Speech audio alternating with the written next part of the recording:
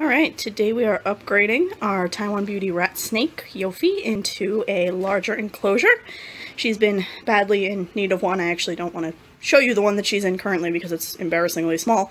Um, but I just want to take you a quick tour what I put together for her. Uh, Taiwan Beauty rat snakes are semi-arboreal, so I wanted to make sure she had plenty of climbing space.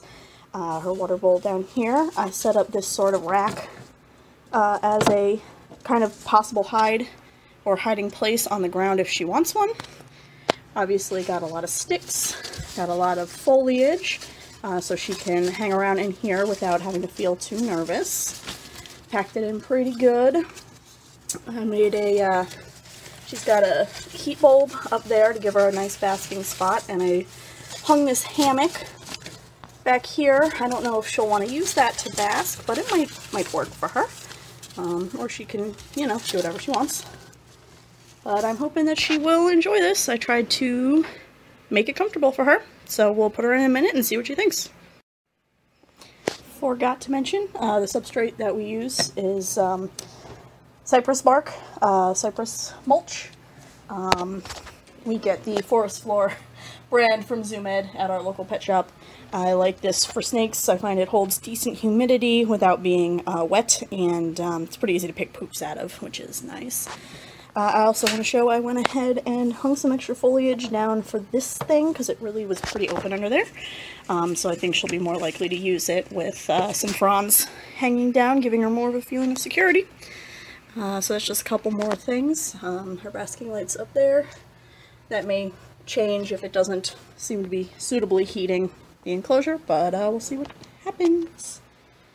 Alright, gonna get her out of her old place and put her in the new one.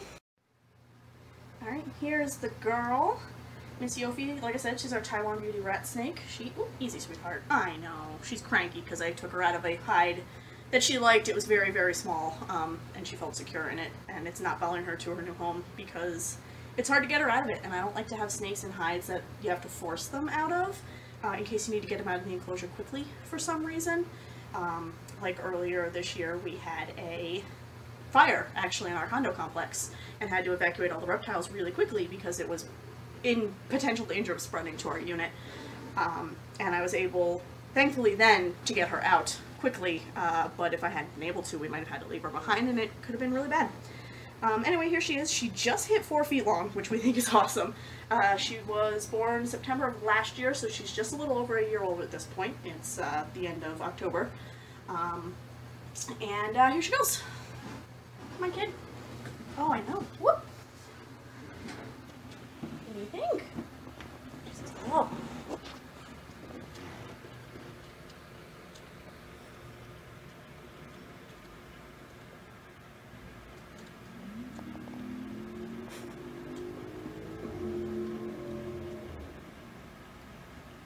This tail on her is great. She has a very long, very narrow tail that uh, she uses, you can see it when you have her out and she's actively holding on to something, she uses it to anchor herself while she's exploring in the trees. A lot of cool adaptations for that semi-arboreal lifestyle with her. Alright, so of course she's nervous. Uh, you know, any reptile's gonna be nervous when you first put it into a new enclosure, so right now she's just trying to get away as far away from me as she can. So we're just gonna close this up and let her uh, turn off lights and let her explore and settle in. Here you go, Yof. Hope you like it. So when I took the first part of this video, I had this lamp, uh, hood, and heat bulb on top of Yofi's rebuilt tank. Um, it's very important, uh, especially when you're putting a new tank arrangement together for the first time, to keep an eye on it in the beginning. Um, and by that I mean check temperatures and stuff. Um, it did not take me long to realize that this lamp and bulb was not cutting it. Um, the bulb, for one thing, is, I thought it was a higher wattage than it was, so I needed a new bulb. Um, I might have been able to keep this lamp hood, but I didn't want to risk um, putting too powerful a bulb in it. Since it's going into winter, I wanted to exchange that, which is I think a 50 watt, for a 150 watt heat bulb to make sure that uh, her temperatures are appropriate. Um, Taiwan beauty snakes need a hot spot of 88 degrees, uh, low to mid 70s for ambient. Uh, it can drop at night, but during the day you definitely want it warm enough for them. and I was not getting that with that right there. So I rearranged a few things in her tank. That's uh, Yig's tank there. He appears to have knocked over his crocodile. Um, the biggest one being that I hung this for the heat. I have that for the bulb. Um, and you may see that the back has changed. Um, Yofi's still a pretty nervous snake, so I wanted to put some kind of background on her tank. Um, they sell all kinds of backgrounds that you can get for reptile tanks, like Timmy here has, this is a real old one, but you can see in the back he's got a jungle, like a polyfilm kind of jungle background.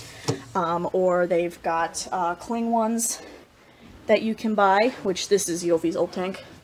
And you can see I put a cling one around all three sides, so it's, you know, uh, on the outside of the tank. Um, and that was for when she was real little and real nervous. But, but uh, I'm having trouble finding those in big enough sizes for this, and I didn't feel like spending the money, so instead I bought a um, roll of bulletin board background paper at a craft store, which my fiance actually found, so kudos to her. Came in a lot of different patterns. Um, I liked the wood one because I'll be able to use this for a couple other tank builds I have going on in the background. Uh, and then I actually glued that to a piece of foam core and attached that to the back as a panel so it'll keep some heat in.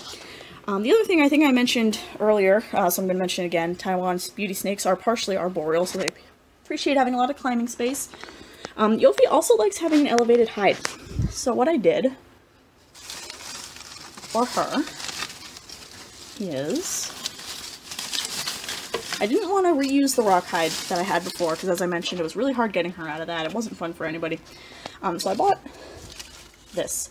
This is not meant to hang uh, vertically. So it doesn't have like a hanger or anything. What I did, see if I can get this out one hand, um, was I, I put a Pangea, an extra Pangea suction cup ledge back there, and it just hangs on that. And as you can see, a lot easier to get her out of that than trying to wrangle her out a very small hole. So she's been liking it quite a bit. It heats up because it's dark, gets warm. Hangs real easy. I just kind of hook it on there. It's been secure so far. I'll have to keep an eye on it, of course. Um, and everything temps up to more appropriate temperatures, which is great. If you do not have an IR thermometer to temp your cage, I strongly recommend getting one. So you can see it's 90 degrees on the outside surface of her hide. Right, uh, right here, kind of on this wood. It's about 85. Down on the floor of the cage right now, about 80. So it's a little warm in here. We're having a kind of a heat uh, heat wave before the Arctic blast comes in tomorrow. Um, but yeah, it's a much better temperature now, and even when it gets colder, uh, this room does unfortunately get kind of cold in the winter, um, she's still going to be suitably warm. Uh, so anyway, I still kind of have this hiding, hiding this back here so she can come in and out and feel safe. So there are just some other adjustments I made to make her tank a better habitat for her. Um, and she just finished shedding. I posted some pictures of that on my Instagram. Uh, so she's doing pretty good in there so far. Feeling good about it. Uh, thank you for watching, and um, if you have any questions, let me know.